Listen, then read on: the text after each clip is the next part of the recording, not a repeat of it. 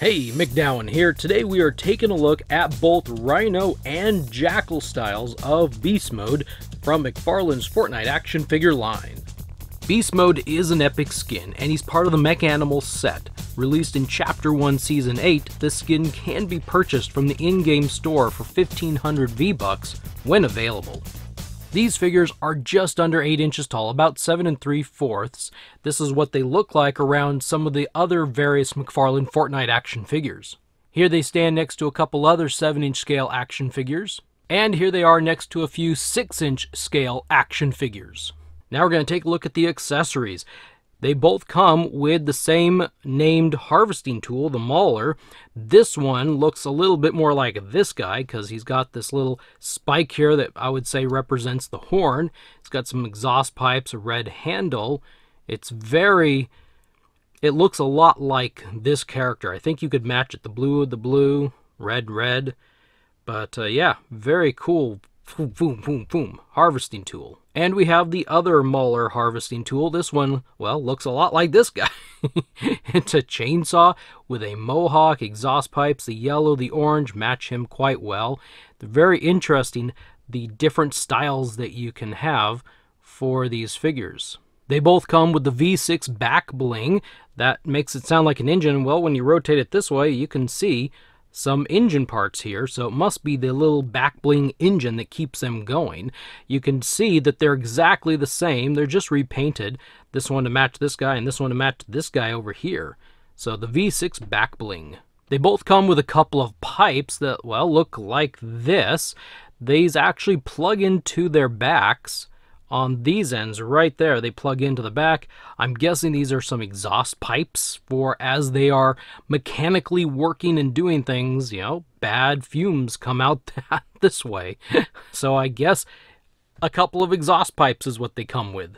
Jackal comes with a quad launcher, and this looks absolutely fantastic, I think. There's some nice splotches, weathering. I don't know if that's rust or what. The the paint is wiped in such a way that it just looks very textured and kind of gritty. Unfortunately, there's no missiles. That'd be cool if the missiles actually came in. You could maybe, you know, this is where I go with toy wise. And I know McFarlane's not going for toys specifically, but a little button that you could launch the missiles. Yeah, well, no, we'll let Jazwares tend to that, right? Uh, but yeah, very very nice looking. This has a red scope on the side. And I'm not really sure if I broke it somehow pulling it out of the package, but this piece seems to fall off a lot.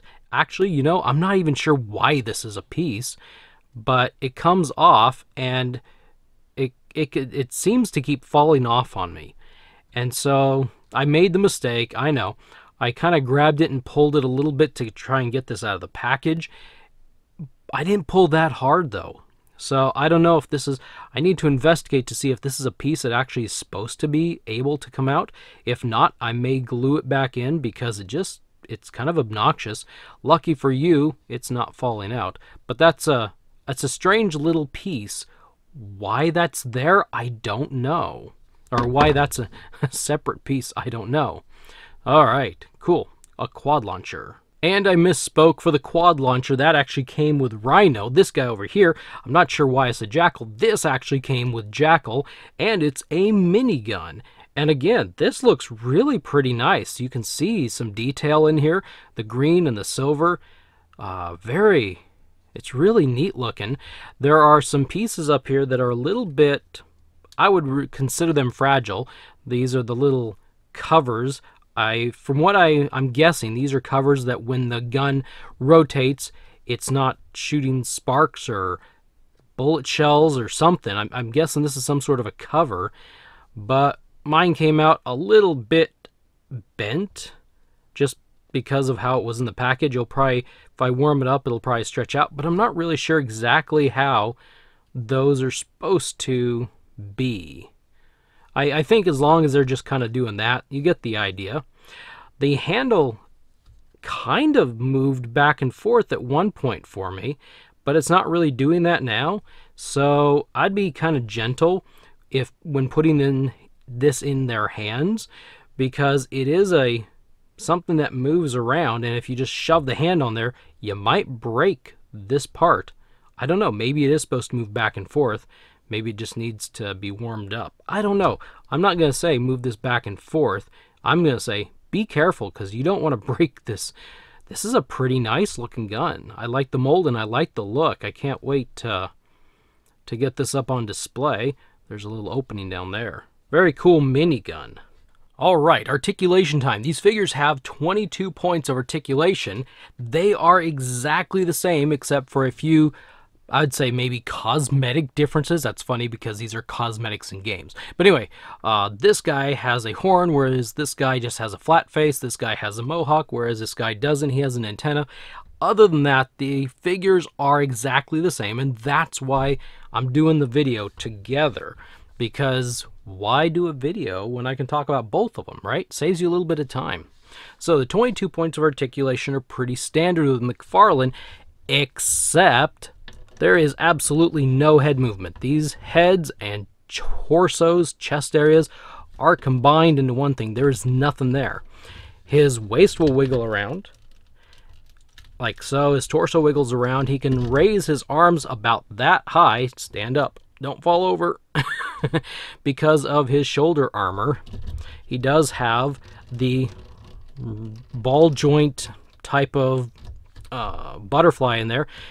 Bicep rotates, double pin at the elbow, ball joint at the wrist for a hinge and rotation. If you want them to do the splits, they'll, they're only going to go about that far because of the side hip armor here. There is double pin at the, and he keeps wanting to fall over. I'll talk about this guy in a minute. Stay. Stay. Come on, Rhino. Stay. Whatever. He's got double pin at the knee and a ball joint at the ankle. And again, you can uh, bring his foot back and a little forward, but you can't really rotate it back and forth because of the shin armor that, okay, over here. The shin armor that stretches down so far, you just can't do that. And there is toe articulation. Yep, that much, because it bumps into the, the piece of armor that's across the foot. So there are some hindrances with this figure. You can uh, put his foot out about that far, or his leg out about that far. You can put his leg back about that far, so if you wanted to, you I suppose you could put him into a really fancy, cool walking position if you can get him to stay. Um, I guess. if, if you wanted to put him in a walking position. I don't know. By the way, I also forgot to mention, they both come with these Fortnite figure stands, I almost always, I feel like I always forget the figure stands. But they all come with a figure stand, so it doesn't matter, right? This guy seems to be heavy. When, I, when I'm holding them both up, this one seems more heavy than this guy. This guy is lighter. The blue guy, Rhino, I'm going to set this guy off to the side maybe. Maybe. Stand him off to the side. I'm going to have to lay him. This guy is having trouble with his ankles he likes to fall forward a lot. And actually, that's probably good for you to see. He can get him forward about that far. But his ankles or toes seem to be loose, and he just likes to uh, fall forward a lot. I have to kind of try to balance him back just a little bit. You can see he's kind of leaned backwards just a little. But, uh, yeah. So, oh, I know what I was going to show you. I was also going to show you Back here, on his back, there's the peg for the back bling, and here are two holes for these exhaust pieces here. And you'll know that they're like a half circle, so they only go in one way. They go in sticking up. And they just slide in like that. And they slide in like that. For some reason, there we go. So, for some reason, this one, I had to kind of open the hole a little bit but that's how they go, and I can see why they weren't this way in the package. They are, I would say, fragile package-wise, and they probably, I don't know, I'm looking at the plastic right now. Maybe it'd be fine, but it's probably better that they, uh, that they included replaceable or whatever. Not replaceable, but um, uh, attachable exhausts. And then the engine goes on, I'm pretty sure just like that. I'm looking at these pouches and they look like this is the direction that the back bling would go. So, you know, these were not some of my favorite looking skins in game. And so I wasn't really anxious. I wasn't in a huge hurry to go and get them. So that's why I waited and I eventually saw them Ross and I was like, hey, I'll get these. They're at Ross. They're discount now. That's how I support the line. No, I'm kidding. Um, actually, almost all McFarlane figures I have purchased through Ross, except for the Plastic Patroller. I bought him brand new. All the rest of them have actually been through Ross. So I wasn't so sure about these figures when I first got them or I saw them. I was like, ah, I don't know. You know, they're McFarlane Fortnite. I've been getting them all, so maybe I'll go ahead and just get these. There's a few that I'm not real sure about. I'm not super in a hurry, super anxious to get. But overall, I actually like these guys. I, I kind of like their bulk. I kind of like how they work. They feel like a nice, strong, sturdy figure to me. Uh, I think they're put together really pretty well.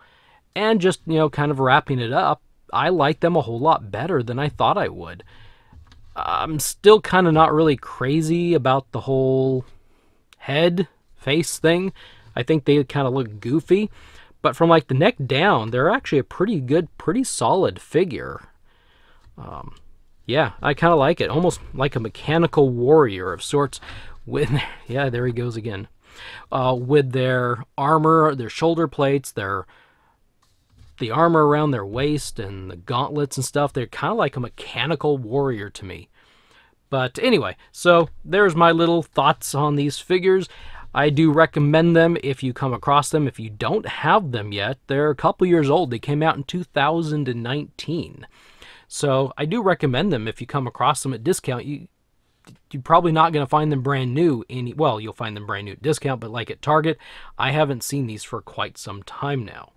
Alrighty, now it is your turn. What do you think about these figures and how I presented them to you? Leave your thoughts in the comment section below, and on your way out, check out my recent review, well, at least recent as in the last review I did, Red Strike, in the lower left corner. Anyway, please like this video, share it everywhere, it really helps the channel. Thank you for watching, and I will see you in the next video.